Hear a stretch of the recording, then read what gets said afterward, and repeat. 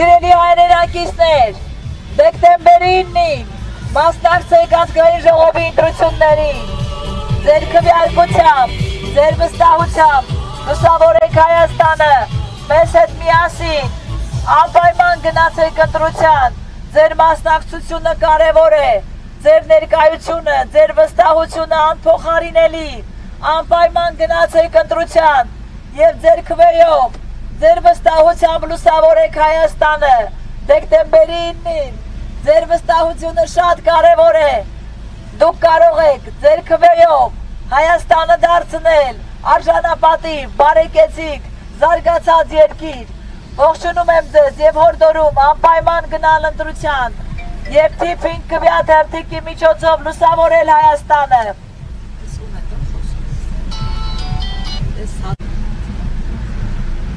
Սիրելի հայրենակիցներ, ողջունում եմ ձեզ Լուսավոր Հայաստան կուսակցության անունից։ Ես Մանեթ Հանդիլյանն եմ եւ ներկայացնում եմ Լուսավորը դեկտեմբերի 9-ի ազգային ժողովի ընտրությունների համար։ Դուք պետք է կարողանաք կատարել ճիշտ ընտրություն։ Դուք պետք է այլևս ընտրեք այն ուժին, որը այսուհետ ներկայացնելու է ձեզ, մեզ, մեր ընտանիքները,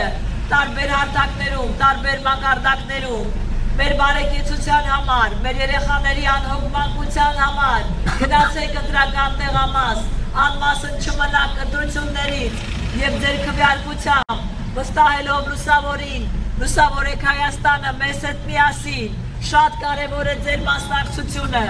եւ դրանով է որոշվելու մեր երկրի ապագան,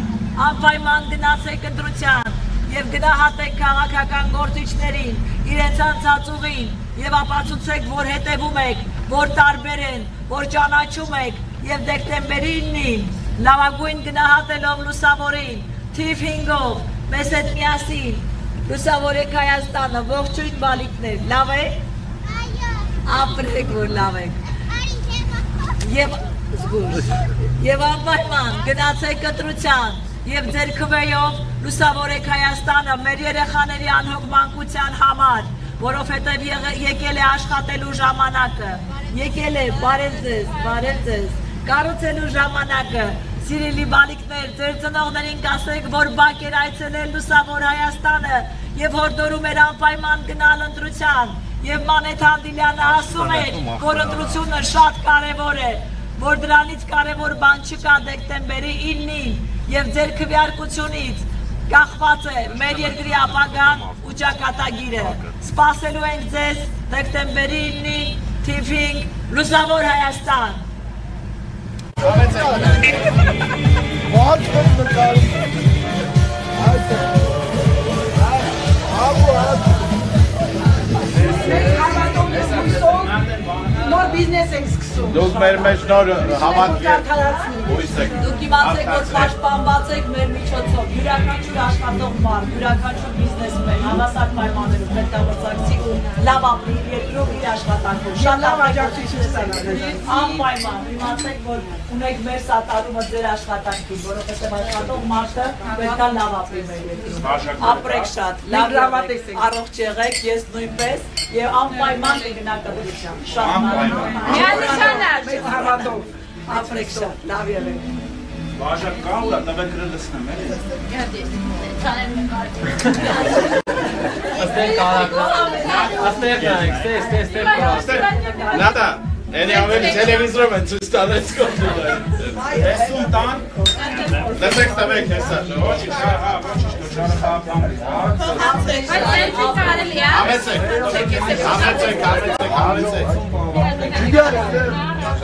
Սասու Բաժակ չկա, սա Հատա ջան Տարածքային ձեր տեխնացուներից խաչիկը բարձրացան հանդիպել։ Այսօր չունի ձեր համա վարչական տարածքից